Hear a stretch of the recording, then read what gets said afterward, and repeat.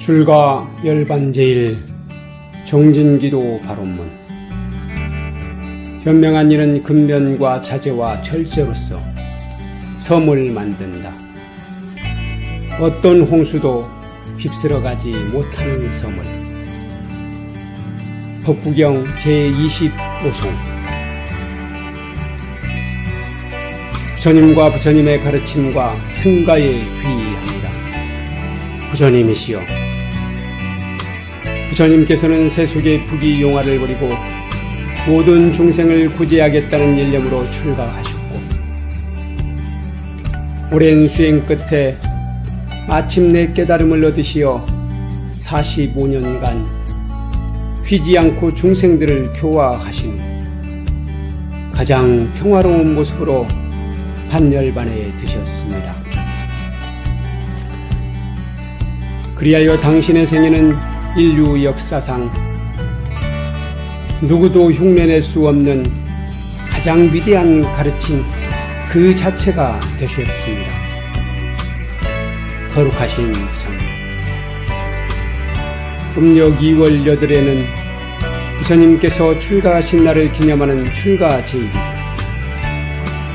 2월 보름날은 부처님께서 반열반 하신 날을 기념하는 열반 제일입니다. 그 사이의 일주일을 저희들은 부처님께서 안겨주신 황금의 시간이라 생각하고 특별 정진 기간으로 정했습니다. 이 세상 누구보다도 위대한 수행자이신 부처님이시여. 출가 열반제일 특별 정진 기도 기간에 저희들은 부처님의 위대한 출가 정신과 열반의 의미를 깊이 되새기고자 합니다. 부처님의 출가는 참으로 위대한 내려놓음입니다. 부처님께서는 앞날이 창창하게 보장되어 있는 왕자하셨음에도 중생 구제의 일념으로 출가하셨습니다. 그것은 한없는 자비심의 발로였으며 대담한 모험심의 발현이었으며 아무리 귀중한 곳에도 집착하지 않는 과감한 내려놓음의 실천이었습니다. 저희 불자들도 부처님의 출가 정신을 본받아 한없는 자비를 꿈꾸겠습니다. 대담한 모험심을 발현하겠습니다. 어떤 귀중한 것도 집착하지 않고 과감하게 내려놓겠습니다. 한없이 자비로우신 부처님이시여.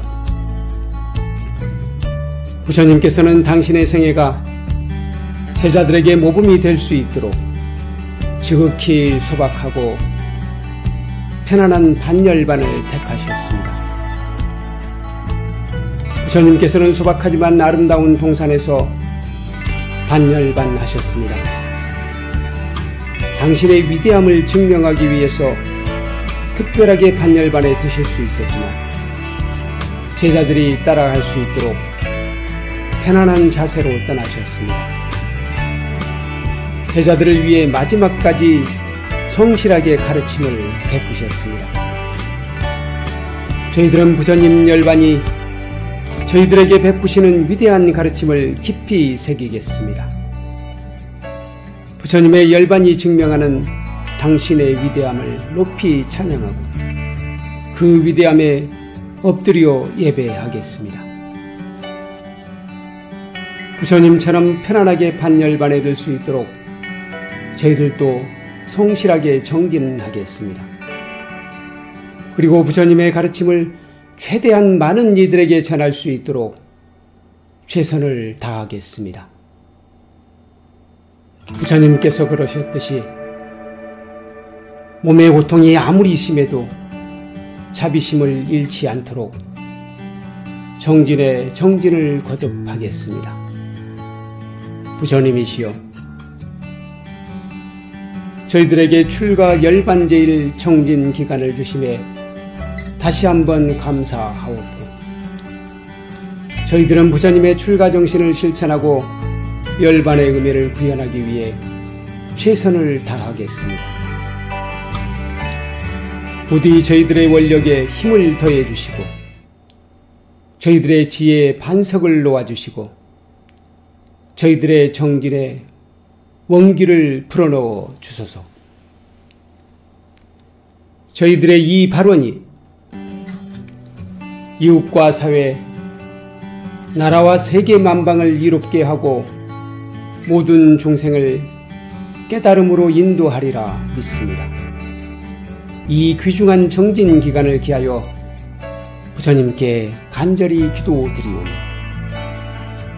그 간절한 바람과 함께 부처님 법 여실히 깨닫고 실천하기 위해 정진에 정진을 거듭할 것을 다시 한번 서원합니다.